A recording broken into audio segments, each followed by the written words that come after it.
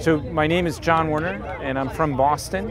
And uh, my idea is that K-12 schools, uh, primary schools, that in addition to the teachers who teach the students, that a second shift of educators should come into those schools and share their passions, uh, teach from the textbooks of their lives, use the city as a classroom, and teach 10-week apprenticeships to uh, these young people to help um, the students apply what they're learning during the day in math and, and reading and, and science to the real world and help kids uh, navigate life and, and set goals and it's transformative both for the kids. It'll help them do better in school and see how uh, how to do well in school, but also be transformative for the adults to share uh, with the kids. And I, uh, I see this as democratizing education. That instead of having a few people as teachers, a few union groups teach, uh, let's get all citizens um, to uh, help inspire. Let's get them off the sideline uh, and get them in, into kids' lives.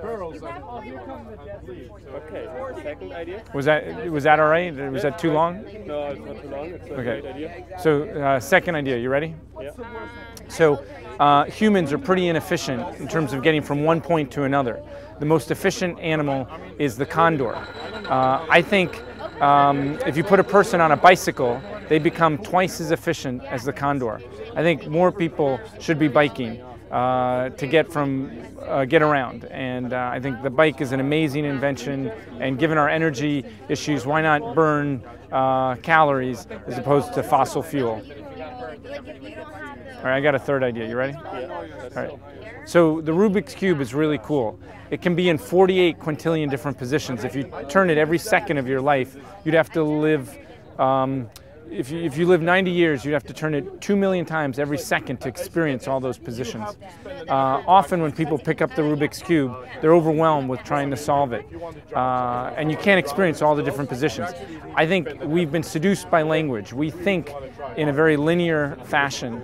And when we draw things like a chair, we draw a symbol of a chair, not what we actually see. And that we should start thinking spatially. And that if all people had a Rubik's Cube and, and saw combinations and saw problem solving techniques that the cube challenged,